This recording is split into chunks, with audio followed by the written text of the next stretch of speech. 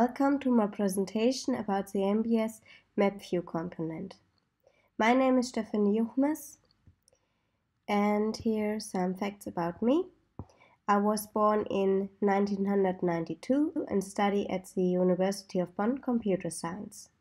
Last year in September I got my Bachelor of Science degree. Since January I work for Monkeybread Software. Monkeybread Software supply the MBS FileMaker plugin. And what is the MBS FileMaker plugin? The MBS FileMaker plugin includes not only the component map view, but also more than 5900 functions that you can use in your solutions. What is map view? With map view, you can display maps in your solutions based on the Apple Maps data.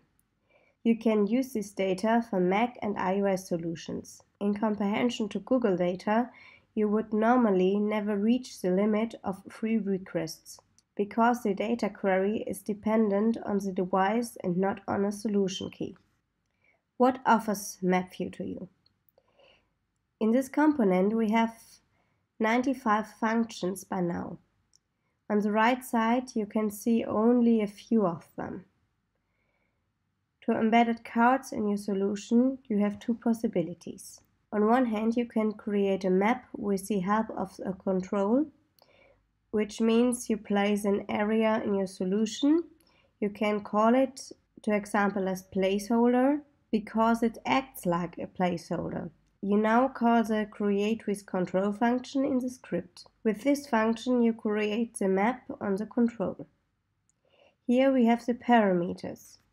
At first, we set the window preference. If we went the most top window, we write 0. Else we get it by the FileMaker own function. Then we set the control name as a string. In our example, it is placeholder.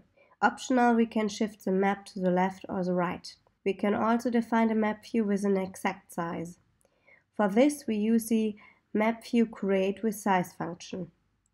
Again, we specify our window reference and then the position of the upper left corner with x and epsilon coordinates. Then follows the width and the height of our map view. Then we come to the different map types. On the right side, you can see three examples of map types. To example, the standard map view as we use it in our navigation systems. You see town names and street names, but not the terrain. Then we have the satellite view. You can see the terrain, but you don't see any street or town names.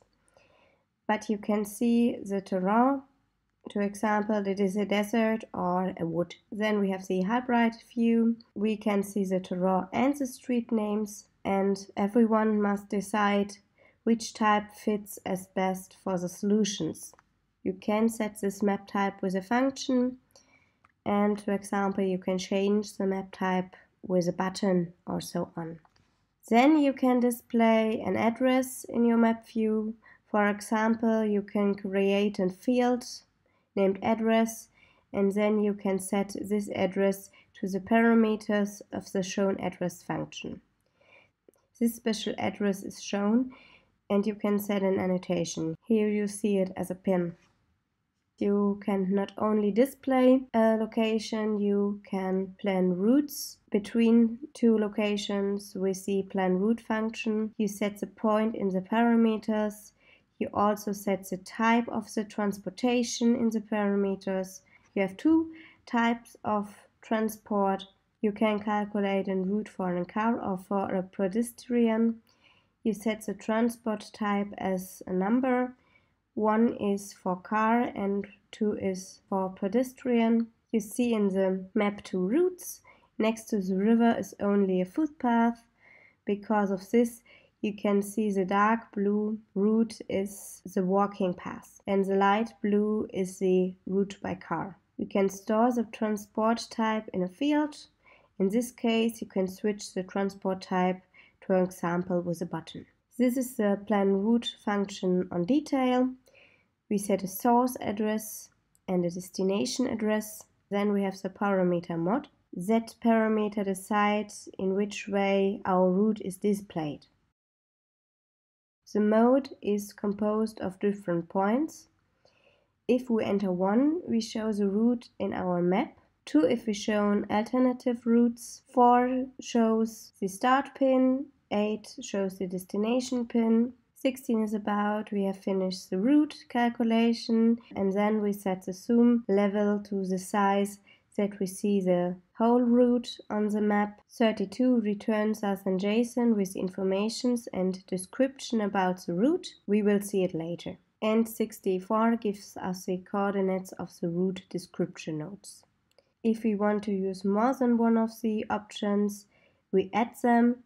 To example, it can look like this. We have here uh, the we want to show a route, we want to show the route, we want to show the start annotation and the end annotation. We want to zoom to the whole route and then we want uh, JSON as a return.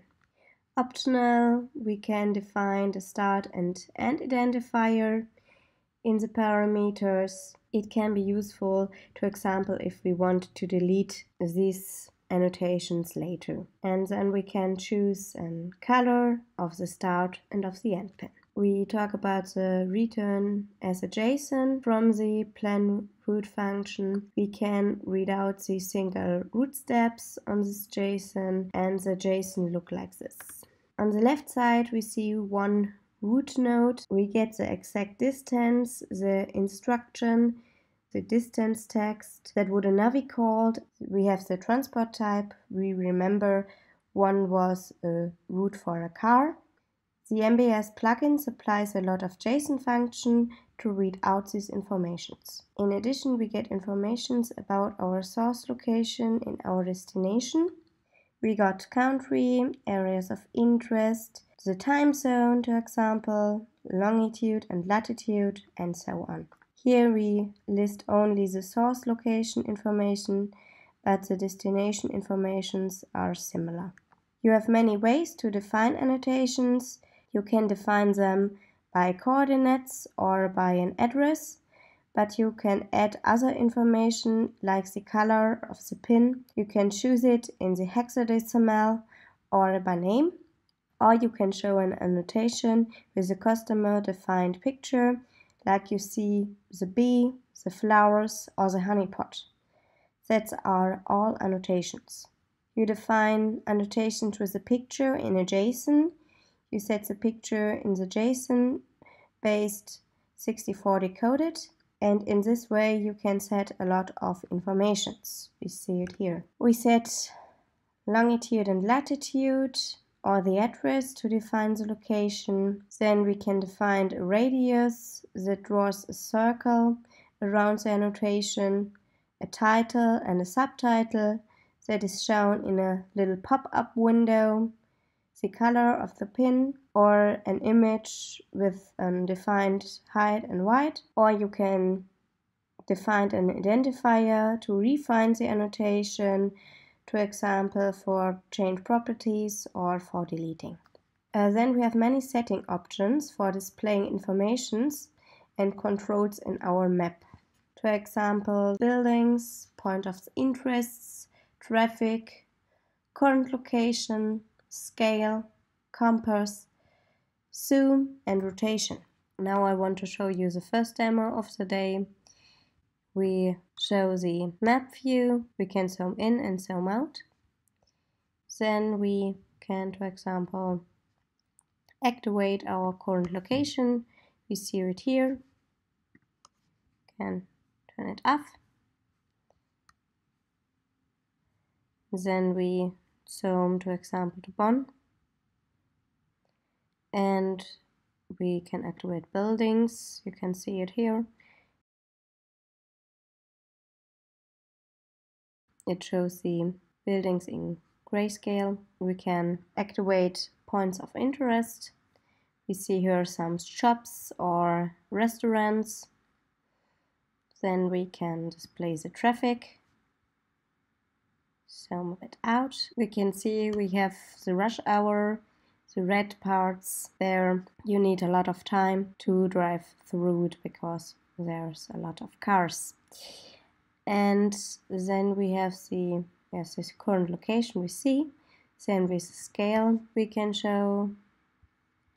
And now the compass that shows us the north. And the zoom we can zoom in and out. With these controls we can activate and deactivate the rotation. So if I deactivate it I can turn around the trackpad and the map don't rotate but if I activate it I can rotate the map we can render single map sections and create some snapshots with a JSON. You can define overlays, annotation visibility, buildings, angel of view, etc. And then you can render the map. To example, you can display the position of your customer and then you can take it to your database as a picture. The screenshots are a picture of the map you actually see. All pictures you see in the presentations are screenshots. Then we can display overlays. For example, we can add a circle. We can set a circuit in meters around a coordinate. We can choose the color and the transparency of the overlay. But you can't only add a circle, but also polygons. We see it here. We set a single point of the map and with them we create the polygon. We can set the color with the alpha canal RGB and the border secant color and the identifier for the polygon. In this example we use the script trigger to set these points. The script trigger is a powerful tool in the map view. We can set a script trigger directly after we create a map. That script trigger calls a script that we defined. Each time we click on the map, this script is calling. With every click we get a JSON that we can analyze. This JSON I want to show you in the demo. We, I want to show you the script trigger and if I click on the map we add some annotations. For each click on the map we get a JSON, we see it here, we have a identifier and we have the mouse coordinates and the latitude and the longitude and we get the map ID so we can see on which map we click. And here is a very interesting point. We have the reason. The reason is here clicked. And if I select an annotation. You can see the reason is annotation select. And then I turn an annotation. We have here an annotation move and these reasons we can take to an if and else conditions and then we can define a handling for each of the reasons. If we click on the map, we add an annotation and if we turn it, we set it to another point. And if we have and three annotations, we defined the polygon with the annotations at the edges. We have two very useful components for a map view solution. The first one is a current location geocoder component. With this component, we can transform an address to coordinates, or we have coordinates and get an address to these coordinates. Geocoder address string gives us a coordinate to an address. That means you can, to example, add the coordinates to an address to your own database. That is useful when we calculate a distance between two locations because we get it by coordinates. Then we have the, the reverse geocoder location. We calculate an address to a given coordinates. That is very useful if we want to set an annotation by the script trigger. We get the coordinates in JSON, but we also want the address for our database. And in this case, we call the reverse geocoder location function. The second component is the core location component. In this component we get the coordinates of our current location And in this way, we can define an annotation or calculate a route from our own current location to a destination. And we get more interesting informations about our current location, like the altimeter or the accuracy in meters and so on. Now I want to show you a demo in which you can see what you can do with MapKit. The demo is a fictionarious example. We have less and less flowers that bees can visit to produce honey. Because of this, our wise bee Bella think about a database system that holds data of meadows with flowers. In this way, bees have an overview and can save time and power to find flower that is not occupied.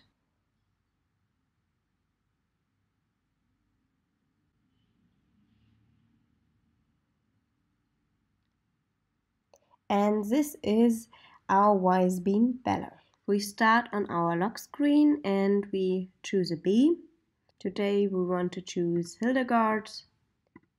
Then we can start our fly and come to the meadow and field layout. In this layout we see the single meadow records. We can switch between them. We have the name of the meadow for finding it in the map, the address, the town and the postal code. Additionally, we have an entry for the owner of the meadow so that the bee can estimate whether there can be problems with the owner or not. Then we store the last visitor and the timestamp of our last visit. The bee should can prove whether the meadow meets its expectation, so we add a picture for each meadow. Additionally, we can create a screenshot of the map which shows the address. We click into this field and press enter. Then a script starts and creates the screenshot. Then we have this column of buttons. The first one loads a picture to our container. The second one would calculate the route between our current location and the meadow.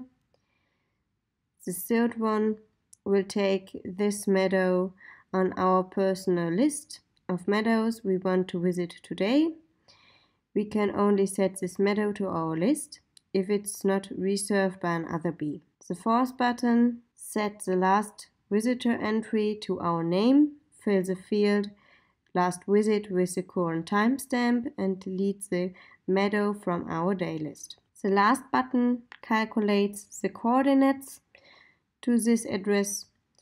How it works we will see later.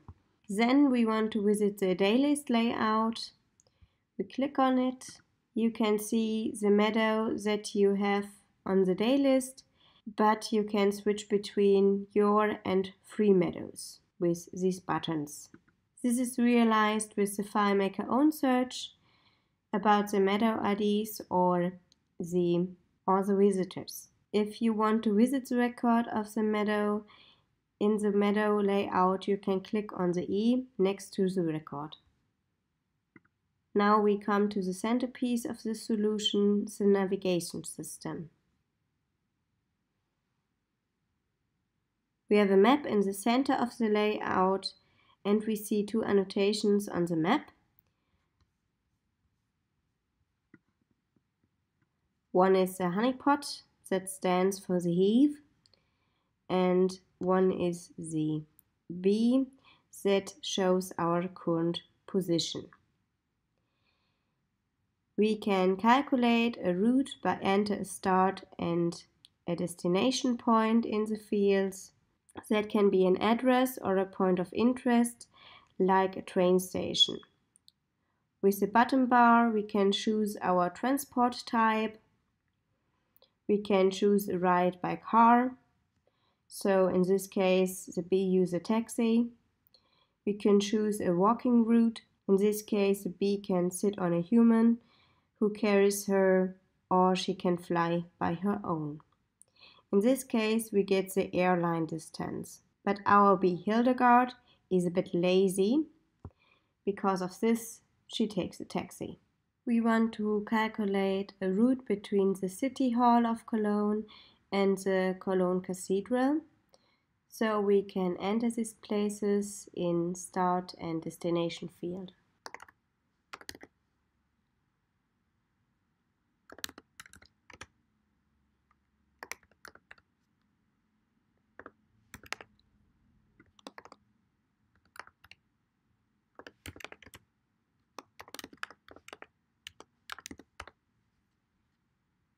And then we can start the search.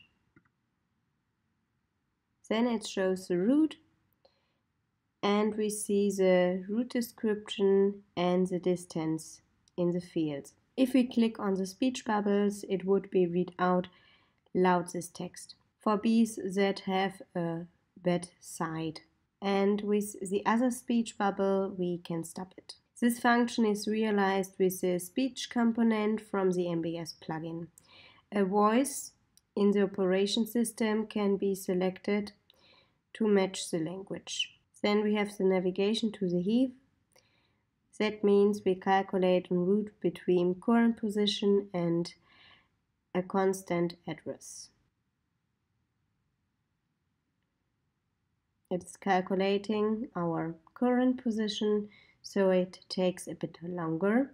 And we see we have the calculation of the route between our bee and the honeypot. For this we get our current location, latitude and longitude with the core location component and then we use to determine the address to these coordinates with the functions from, from the geocoder component. Both components are included in the MBS FileMaker plugin. If we have an address, we set start and destination to the fields and start the search. If we want to save a map snippet, we can make a screenshot of this map. For that we have the map view screenshot function. It takes a photo of the card snippet we actually see in the map view. And then we can open the map view that is safe on our desktop. So we have here the card snippet. In the function, we can set the file name and the image type of the picture like PNG or JPEG. Then we can mark all meadows that we have stored in our database. In this case, we run through the records and add for each record an annotation. We can click mark all meadows and we see we have a lot of meadows saved in our database in the area of Hamburg. We set the title and the subtitle of this annotation. Here we have the name of the annotation and here we have the address in the subtitle. We see it in this little pop-up next to the annotation. If we activate this button, we can add records to our own database by clicking into the map if we click on an annotation-free section in the map, we add a record to the database. For example, we can click here. In this case, we go to the layout meadows to complete the record. For example, the name that is Nature Park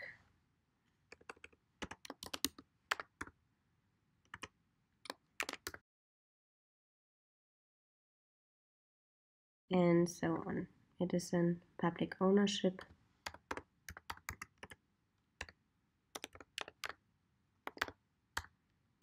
And we can add a photo and create the card snippet. So we go back to the search. But we also mark the meadows on our day list. For example, we have two meadows on our day list. We can also show both and we can see we have some more meadows we can visit with Hildegard and we can click to example we want to visit one meadow more and take to our day list we can click on it and then we can take it to our day list. So on the day list we have this new entry. Then we come back to the search and we can mark our meadows. And if we want we can define overlays like a polygon. We can draw it to our own meadows. You can see it here. We can choose the fill color by the hexadecimal with alpha canal or by name. And we have here a borderline that we can decide the fill color and the thickness. We can also add a circle with a circuit to our map. We click show circle and then we can calculate a circuit with kilometers around our current position. This is around our current position and you can see it here. Here we can define the fill color too. Then we have the functionality to remove annotations and remove overlays and if we click on this button we remove annotations like the bee and the honeypot and to remove overlays we remove all overlays on the card. Similar to these functions are MapView remove annotation and MapView remove overlay, which only remove specific annotations by identifiers. With the last button, we update the current location so we can set the bee. Now we want to look at the scripts. At first, how we create a map and set the script trigger. So we open the script workspace and go to display search.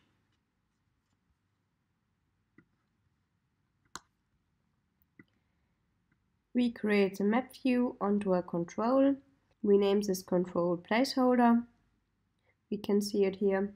Then we can see how to define annotation with the JSON. We have here the address and then the title. We have here the annotation heave and then we define the subtitle and so on. Then we add the image that is based 64 encoded. For the bee annotation we need the current position so we call the script update current location and we see this script later.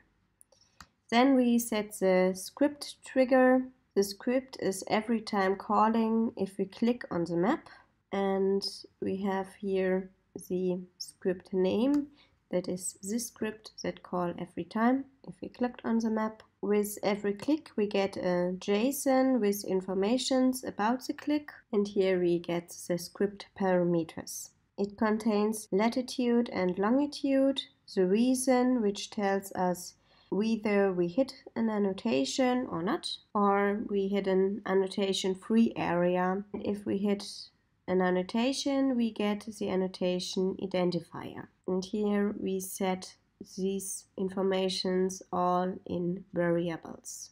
In the script, we distinguish the handling of a clicked annotation and a click on an annotation-free area. If we select an annotation, we check if we can find a record for this annotation. If we find one, we ask if we should visit this record and then go to the meadow layout.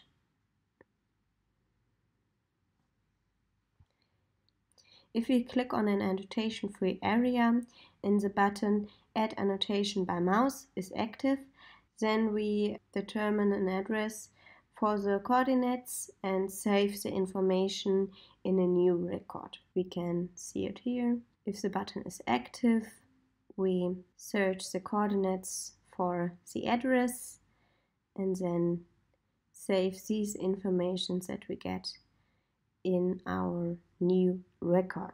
Now we look a bit closer to we determine the current location. For this we enter the script current location. And we see we start updating the current location and get the latitude and longitude.